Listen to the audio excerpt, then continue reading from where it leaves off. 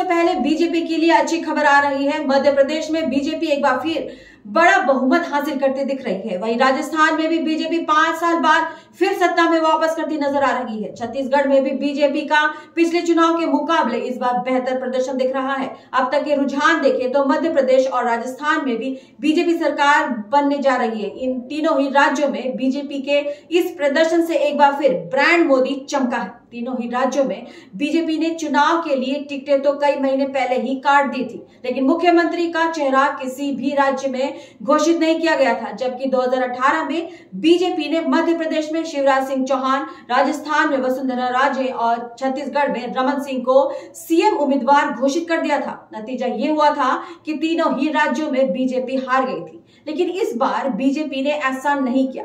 BJP ने प्रधानमंत्री नरेंद्र मोदी के चेहरे पर ही चुनाव लड़ा और उसका बड़ा असर भी दिख रहा है।